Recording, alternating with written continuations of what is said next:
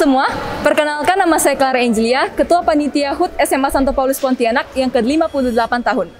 Pada hari yang berbahagia ini, tepatnya pada tanggal 7 September 2021, kami SMA Santo Paulus Pontianak mengadakan acara dalam rangka untuk memperingati hari ulang tahun sekolah yang ke-58 tahun. Perayaan 58 tahun SMA Santo Paulus Pontianak kali ini mengangkat tema Belajar dari praktik baik untuk terus melangkah ke depan. Adapun rangkaian kegiatan yang kami lakukan yaitu misa, kemudian acara ramatama sederhana dan terbatas, dan juga yang terakhir adalah bakti sosial berupa pembagian sembako dengan total 125 paket sembako kepada masyarakat sekitar. Yuk simak acaranya!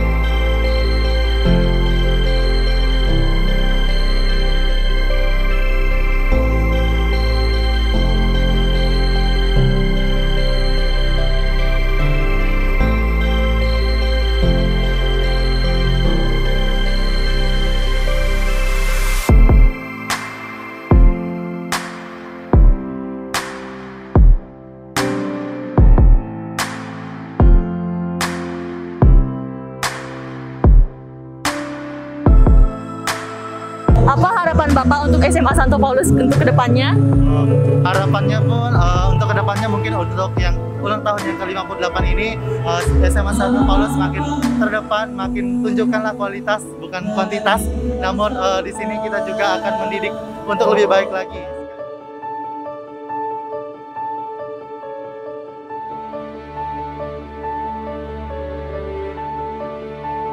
Untuk harapannya tentunya yang baik ya ke depannya. Semoga SMA Santo Paulus makin tambah maju, sukses, eh, para siswa dan alumninya eh, dapat bekerja sama dengan baik, terutama khususnya di bidang pendidikan ya, eh, khususnya di Kalimantan Barat agar pendidikan di SMA Santo Paulus menjadi eh, contoh yang terbaik, terdepan dan menghasilkan eh, generasi penerus bangsa yang hebat dan maju ya untuk bangsa Indonesia. Ya, sekali Santo Paulus tetap Santo Paulus.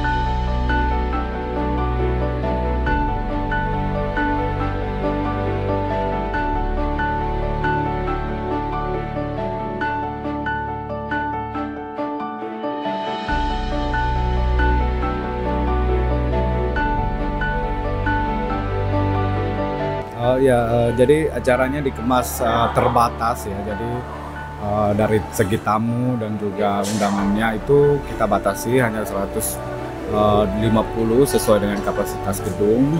Kemudian ya kita melakukan rapat koordinasi dengan pihak-pihak terkait supaya eh, acara ini bisa terselenggara dengan protokol ketat gitu. Entah di dalam ruangan ini maupun nanti di luar ruangan pada saat bakti sosial semuanya di- disesuaikan dengan protokol kesehatan ada masa pandemi COVID-19.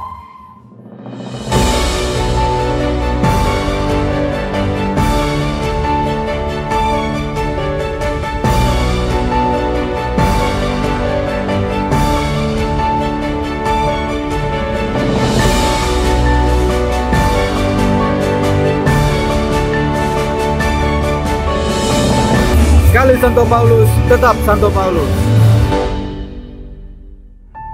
Di tahun kemarin itu lebih meriah, eh, lebih banyak tamu undangan yang kita undang dan lebih banyak yang hadir juga.